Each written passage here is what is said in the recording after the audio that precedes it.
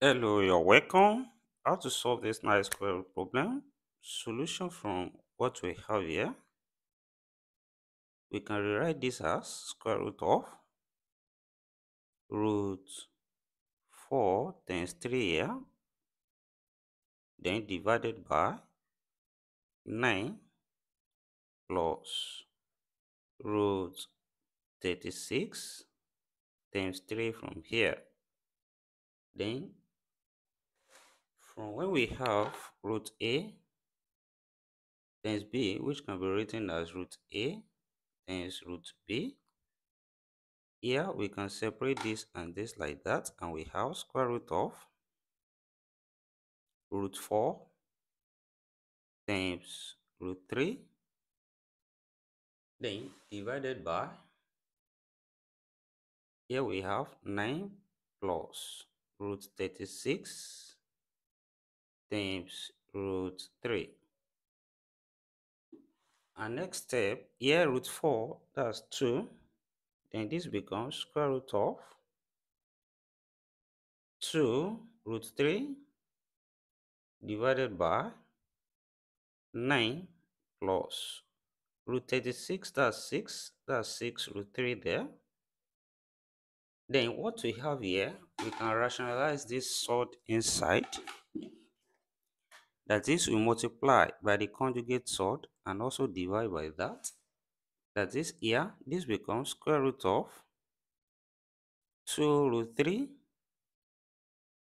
over here we can rewrite it as 6 root 3 plus 9 and here when we multiply this by the conjugate which is now 6 root 3 minus 9 into bracket also multiply this by 6 root 3 minus 9 then close brackets here and from here 2 root 3 we open this bracket. And we have square root of here 2 times 6 that's 12 then root 3 times root 3 that's 3 so we have 12 times 3 here then minus here 2 times 9 we have 18 then times root 3 then divided by what we have here follows from when we have a plus b into bracket open bracket a minus b which is same thing as a squared minus b squared. That is here, we can write this as 6 root 3 all squared minus 9 squared. And uh, simplifying further, this becomes square root of here. We can factor what is common here. and from what we have here, 3 is common up, so we have 3 into bracket 12 left here. Then minus 6 root 3 left here.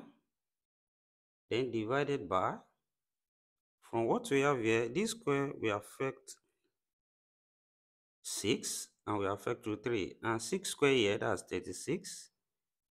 Root 3 square, that's times 3 there then minus here next square we have 9 times 9 which is 81 which also implies here we can factor 3 out here then we have square root of 3 into 12 minus 6 root 3 here close bracket then divide by 3 into bracket. Here we have 36 minus 27 here, close bracket.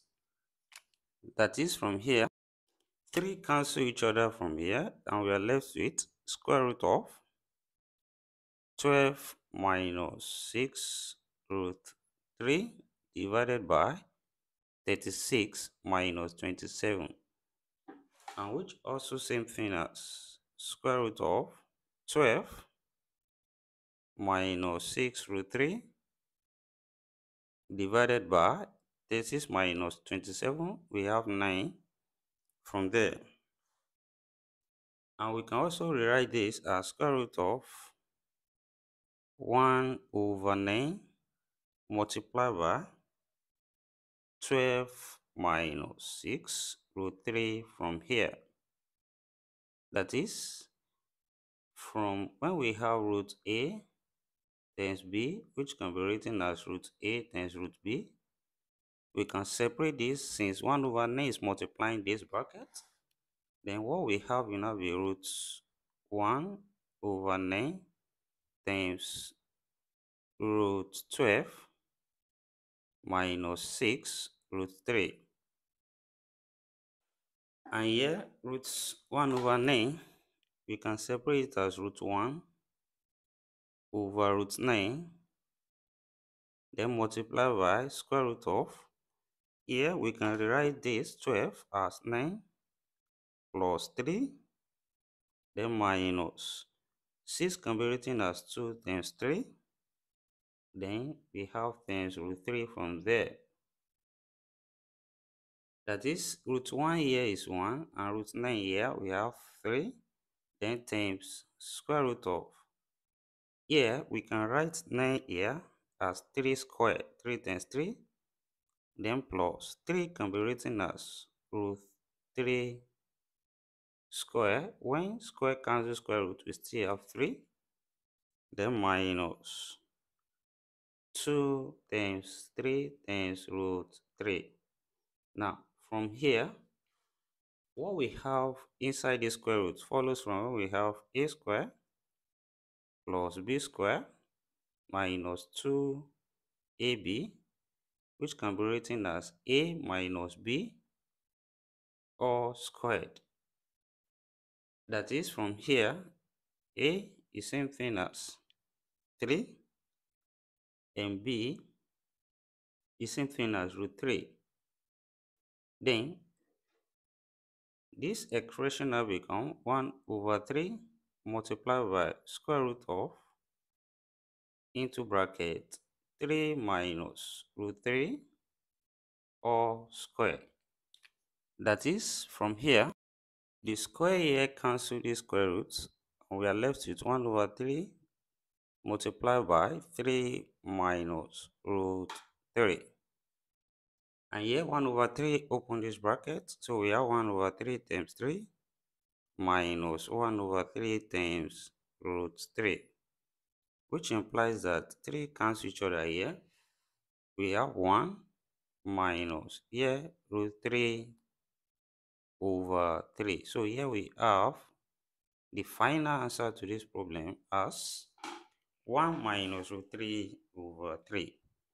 So what is given here is simply same thing as 1 minus root 3 over 3. Thank you for watching. Don't forget these steps. Subscribe for more videos and turn the notification bell on. Share this video, give it a thumbs up and put your comments in the comment section. See you next class and bye for now.